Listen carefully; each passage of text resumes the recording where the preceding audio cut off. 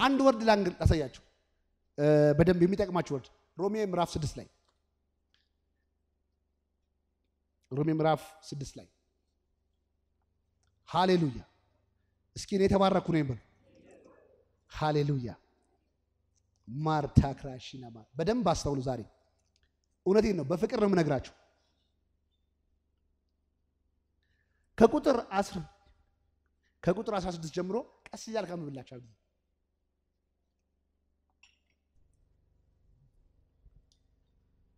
ራሳችሁን እንደ ባሪያ አድርጋችሁ ስታቀርቡ ለምትታዘዙት ለእርሱ ይኸውም ወደ ሞት ለሚወስደው ለኃጢአት ወይም ወደ ጽድቅ ለሚያደርሰው ለመታዘዝ ባሮች እንደሆናችሁ አታውቁምን? ይውላችሁ ራሳችሁን ስታቀርቡ አለ። ለምን ወደ ሞት ወይም ወደ ወይት ወይም ወደ ጽድቅ ለሚያደርሰው አያችሁ፣ ወደ ጽድቅ የሚያደርሳችሁ ትምህርት ነው። ወደ ምንድን ነው? ወደ ሞትም ምን የሚያደርጋችሁ የሚያደርሳችሁ ምንድን ነው? ትምህርት ነው። ስለዚህ ሰዎች ሔዋን እና አዳም በጽድቅ ነበሩ። እግዚአብሔር በባህሪ የተፈጠሩ ናቸው። ጉድ ወደ ሞት የደረሱት በምንድን ነው ማለት ነው? ራሳቸውን ለሰጡለት ምንድን ነው? ትምህርት ታዘው ነው። ከጽድቅ ወደ ሞት መታዘዝ ይችላል። ከጽድቅ ደግሞ ወደ ህይወት ከሞት ደግሞ ወደ ህይወት መታዘዝ እንችላለን። ሞት ዓለም ውስጥ ብንኖርም ህይወትን ከሰማን ወደ ጽድቅ መምጣት እንችላለን። የጽድቅ ዓለም ውስጥ ቁጭ ብለን የድል ዓለም ውስጥ ቁጭ ብለን ውሸትን ከሰማን ደግሞ ወደ ሞት ልንሄድ አዳም እና ሔዋን ከሞት ወደ ሞት አይደለም የሄዱት። ጽድቅ ካለበት ሰላም ካለበት ወደ ሀዘን ነው የሄዱት። የታዘዙት ግን በምንድን ነው? ተገፍትረው አይደለም። ዓለምን የቀየሩት በ decision ኣቸው ነው። በምን decide አደረጉ? ከእግዚአብሔር ባልወጣ በውሸት ትምህርት ራሳቸው ምን ስላደረጉ ስላስገ አቀረቡ። መጀመሪያ ለትምህርቱ ነው ያቀረቡት።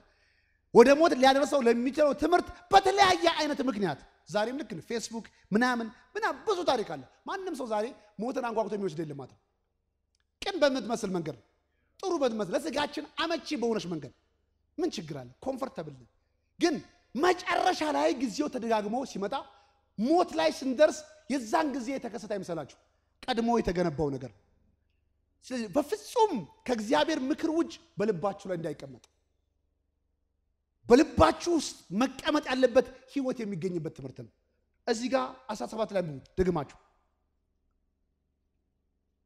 ነገር ግን ይላል ስሙት። ነገር ግን የኃጢአት ባሮች የነበራችሁ ቢሆንም ለተሰጣችሁለት ትምህርት በሙሉ ልብ እየታዘዛችሁ በመሆናችሁ አሜን። ስሙት። አሁን ነገር ግን በፊት ምንድን ነው ለኃጢአት ምን ያደርጋችሁ ባሮች ባሮች በነበራችሁበት ጊዜ ምንም እውነታችሁ አይደለም ያላችሁበት ሁኔታ አይደለም የሚያስፈልገው ባሮች ነበራችሁ። አሁን ግን ባሮች ለኃጢአት ባሪያ በነበራችሁበት ታይም እናንተን ወደ ህይወት ሊያደርስ የሚችል ትምህርት መጣ። ከዛ ያንን ስትሰሙ ከሞት ባሪያ ከሆናችሁበት ዓለም ወደ ጽድቅ ምን አደርጋችሁ ተሻገራችሁ። ስለዚህ ምን ያህል ደካማ መሆናችሁ አይደለም፣ ምን ያህል መሸገራችሁ አይደለም፣ ምን ያህል ጥሩ ዓለም ውስጥ አለመኖራችሁ አይደለም። እናንተን የሚለውጠው የምትሰሙት ምንድን ነው ማለት ነው? ትምህርት ነው። በልባችሁ ላይ እንዲገባ የምትፈልጉት ትምህርት ነው። ይህንን ከፈቀዳችሁ፣ ይህንን እሺ ካላችሁ፣ ከዛ ማንኛውንም ሞት ፈንቅላችሁ ትነሳላችሁ። ከእንደገና ደግሞ ጥሩ ቦታ መኖራችሁ፣ ጥሩ ስብከት መኖራችሁ አይደለም ራሳችሁን ያቀረባችሁለት ለውሸት ትምህርት ከሆነ ልባችሁ በጣም የሚፈልገው ፈልጎ የሚሰማው ነገር ከእግዚአብሔር ቃል ውጭ ከሆነ ቀስ በቀስ ቀስ በቀስ ጊዜ ጠብቃችሁ ወደዛው መንገድ ሜዳችሁ አይቀርም። እንዴ እንዴት ነው የሚባለው? በፍጹም ለምን ሰው በልቡ ውስጥ ያየውን ነገር ነው የሚሆነው። ሰው ሲታመም ዝም ብሎ በፊዚካል ነገር በአካላችን የሚገለጥ ነገር ዝም ብሎ የበቀል አይምሰላችሁ። ፈጽሞ ስር የሌለው ነገር ፍሬ ሆኖ አይገለጥም። ፍሬ ሆኖ የሚገለጠው ምን የሆነ ማለት ነው? በሽታ ፍሬ ነው፣ መገለጫ ፍሩት ነው። ሲድ አለ ወይም ዘር አለ ወይም ስር አለ። ስር የሌለው ነገሮች ሁሉ አይገለጥም። እዚህ ልባችሁ ላይ ክፉ ነገር እንዳይበቅል መራራ ስር አይደል የሚለው አይደለ? መራራ ስር ምንድን ነው?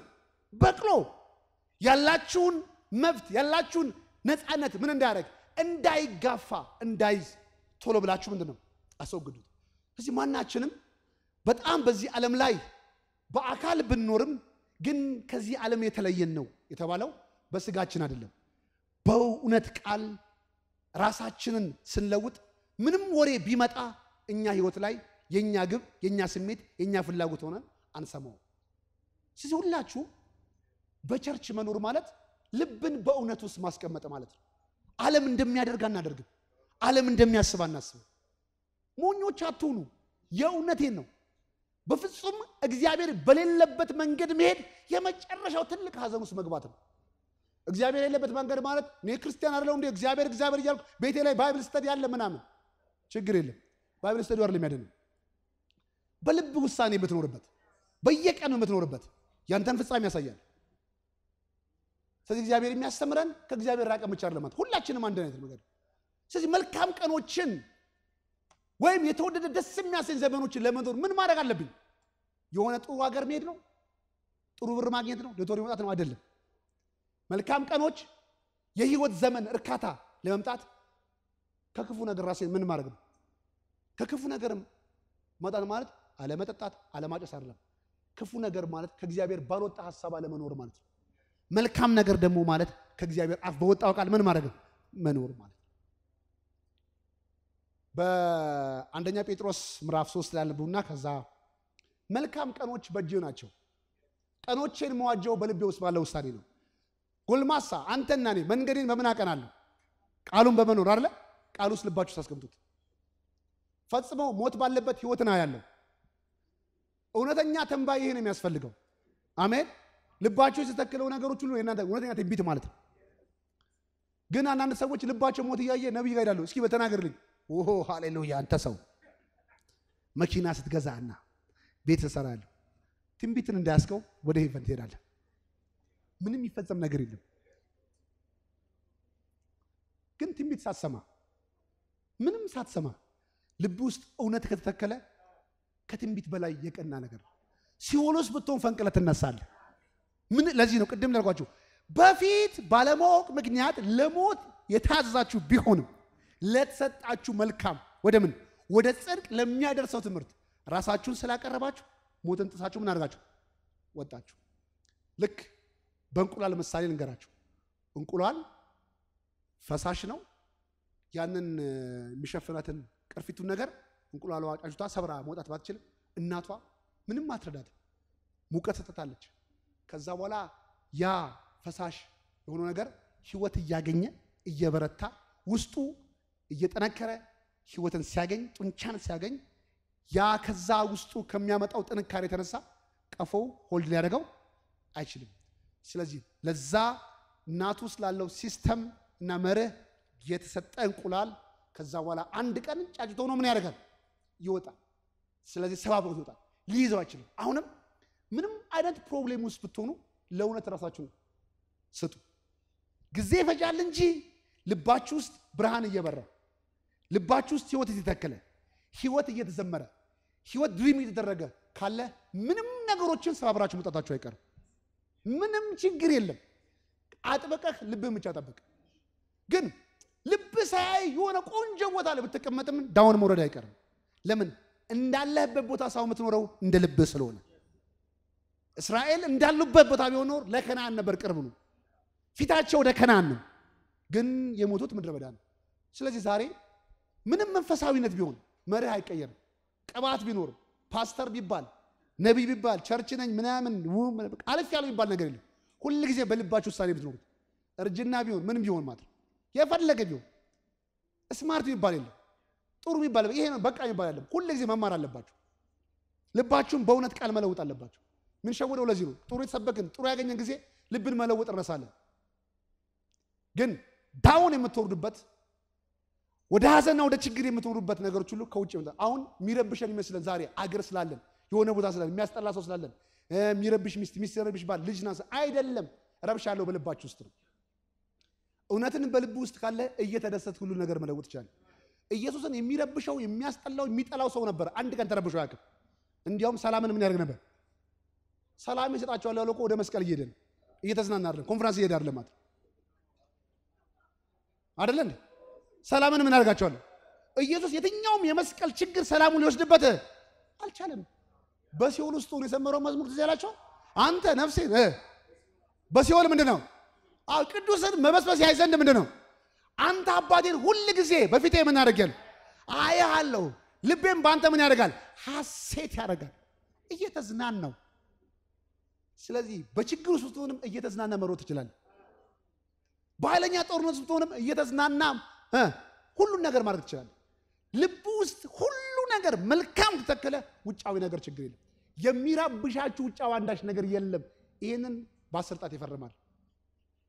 ልንገራችሁ፣ ኢኮኖሚም አይደለም ምንም አይደለም። ሰው የሚኖረው በልቡ ውሳኔ ነው።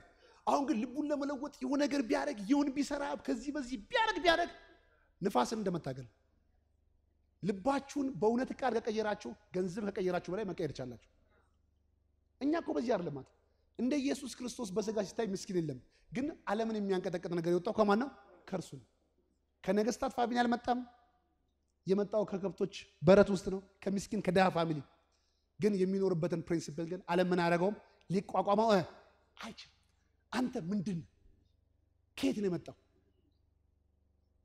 ሰው ነው እንደኛ ማለት ነው። ግን የሰውን የመጨረሻውን ጥግ ኖሮ አሳየን። እኛም እንድንኖርበት የተፈለገው ህይወት ይሄ ነው። ስለዚህ ራሳችሁን ለ case ለውጫዊ ነገር አሳልፋችሁ አትስጡ። እኔ እኮ እንዲህ ነኝ። እግዚአብሔር በጣም ከሚስቅበት በጣም ከሚያስቅ ጸሎት ችግር ይዞ መጸለይ ነው። ጎልያድ መጣ። ጌታው የሚኖርበት ምንድን ችግር ገንዘብ ብትሉ ያስቃል። እግዚአብሔር የሚያየው ምንድን ናቸው? ልባችሁ ውስጥ ልባችሁ prosper እንዲያደርግ እንዲበለጽግ ንገሩት፣ እንዲያፈቅር ንገሩት፣ እንዲደፍር ንገሩት። የዘራችሁበትን ነገር ያበቅላል። ሌላ ነገር አለ የዘራችሁትን ነገር ተቀብሎ ያሳያቸዋል። አጥብቃችሁ ልባችሁ ምንድን ነው ጠብቁ። እስኪ አንደኛ ጴጥሮስ ላይ መልካምን ቀኖች ላይ የሚፈልግ ሰው ፕሬዝ ጋር ሃሌሉያ። መልካም ቀኖች ከየት ይመጣል? ከሰዎች ልብ ውስጥ ከለቦች ከሰዎች ከአንተ ልብ ውስጥ ከውሳኔ ይመጣል ማለት ለማንም ሰው እንደ ልብ ውሳኔ ነው የሚሆንለት። ለእያንዳንዳችን ሄቨን የደረስከው በማን ነው? በልብ በራስ ውሳኔ አደለን? በጋራ በማህበር የሚወሰን ውሳኔ የለም። ዛሬም በማንኛውም ምድር ላይ እንደ ልብ ውሳኔ ነው። እኔና ቤቴ እግዚአብሔር እናደርጋለን። በቃ አለቀ።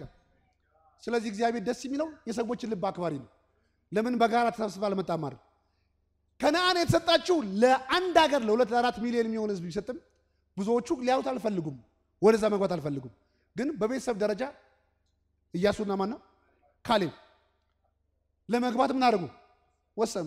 አይ በቃ ፎርሻቸው ላላቸው እንደ ልባችሁ እናንተ ምን ታደርጋላችሁ? ትወርሳላችሁ። ስለዚህ እኔና ቤቴ ተዝናንተን እንኖራለን፣ prosper አድርገን እንኖራለን። ሁሉ ሰው ያመነውን ነገር ለማመን አታገሉ። ሁሌ ለውሸት ቅርብ አትሁኑ። ሰው የሚያምነውን ደረጃ ለመቀበል ሁሌ በጣም ብዙ ጊዜ ከምናገረው የመጨረሻ በጣም የሚያስጠላው እርግማን የሚባለው ሰው በሰው ቃል መኖር ተጀመረ አይደል? በሰው ወርድ አስራ ሁለት ሰዎችን መርጦ አገር እንዴት ነች ሲባል አስራ ሁለት ሰዎችን ሪፖርት ናምነው አልገባም ማለት ውድቀት ነው። አያችሁት? ለምንድን ነው ሰውን አይደለም ሰውን የሰውን ወርድ የሰውን እኩል በዚህ ደረጃ ራስን ማየት ማለት ነው። አሁን አይኤምኤፍ አሜሪካ ምናምን አለሽ የሚባለውን ነገር ሰው አምኖ ይፈራልም ይደሰታልም። በጣም ነው የሚያስቀው። ማንም ሰው ባለው ነገር ሳይሆን አንተና እኔ እንድንኖር የተፈለግነው በሚወደን በአባታችን ቃል ነው። በአንተና በእኔ ህይወት የሚሆነው እግዚአብሔርን ቃል ነው። ስለዚህ ብዙ ሰዎች የሚያውቋቸው የሚረዷቸው አብረው አጠገቧቸው ያሉ ሰዎች ኖ ከነአን አይቻልም ሲሉ ከነሱ word ውጭ ማየት አልቻሉም። ስለዚህ ያመኑትን እንደዛ ሆኑ ማለት ኢያሱና ካሌብ no አንፈልግም። በእርግጥ እንደዛ ምሽጋቸው ቢሆንም እኛ agree የምናደርገው በልባችን የምናየው ከአባታችን የወጣው ምንድን ነው? ቃል ላይ ነው። ስለዚህ ሲል እግዚአብሔር ወሰናችሁ አላቸው። እናንተ ትገባላችሁ። እናንተ ደግሞ እንዳያችሁት እስክታረጁ ድረስ አርባ ዓመት ኑሩ። በቃ እንዳያችሁት ዛሬ ምን ታያላችሁ? ልባችሁ ውስጥ ምን እየወሰነ ያለው? አጥብቀ ልብን ምን አድርግ ይላል? ጠብቅ። ህይወት የሚመነጨው ከዚህ ነው። ቀጥሎ ሞት የሚመነጨው ምንድን ነው? ከዚህ ነው። ሞት እንዳይመነጭበት፣ ሞት እንዳይበቅልበት፣ ሞት ሊያመጣ ለሚችል ትምህርት ራሳችሁን አትስጡ። ቀልድ በምትመስል ሊያሾፍ በሚችል ቃሉን የሚሰጥ ማንኛውም ቀልድ፣ ማንኛውም መንገድ ጊዜ አትስጡ፣ አትታገሱ። ነቅላችሁ ተነሱ። ሰይጣን አታላይ ነው። ቃሉን ከእናንተ እንዴት እንደሚወስድ ያደርጋል። ብዙ ነገሮች አሉ። ይህንን ያስቶና እናሳያቸዋለሁ። በአንደኛ ጴጥሮስ ምዕራፍ አንድ ላይ ቁጥር ሶስት ጀምሮ ከዛ መዝሙር ምዕራፍ አንድ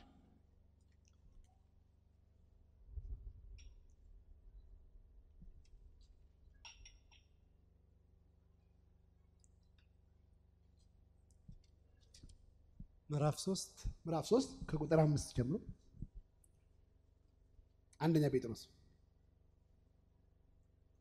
ምዕራፍ ሶስት ህይወትን የሚወድ አዎ፣ ህይወት ምዕራፍ ሶስት ቁጥር አስር እም፣ ኦ ሶሪ